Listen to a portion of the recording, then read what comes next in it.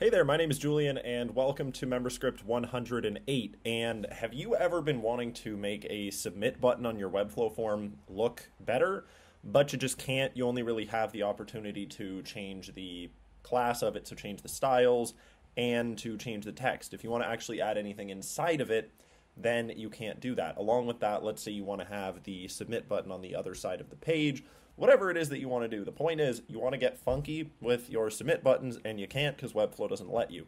The point of this script is to solve that. So here is an example first, and it's a very simple one. All it is is a sign up form, and there's an icon in the submit button. So let's go ahead and try that out right now with some fake test data, and let's click this. So as you probably know if you're watching this, if this was a normal Webflow submit button, then it could not have an icon in it because you can't actually add anything inside of it. So anyways, let's go ahead and click create your account. And as you can see, it created my account, did exactly what it's supposed to do.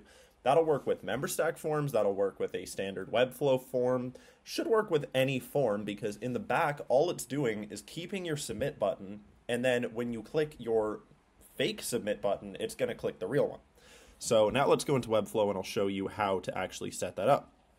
So here we are, and the first thing that you're going to want to do is get the script for MemberScript 108, which is on the MemberScript section of the MemberStack site. And if you're watching this on YouTube, then there should be a link in the description. If not, you're probably watching it from the page on our site anyways. So anyways, just get this, copy it, and paste it onto whatever page it is that you want this to work. Then all you need to do is add two attributes. First things first, you have your old submit button. So as we can see here, we have a submit button and I just have it set to hide. This is the real Webflow submit button as you can see here. And it has the attribute ms-code-submit-old equals 1 in this case. And I'll show you more about that in just a second. Let's set this back to hidden.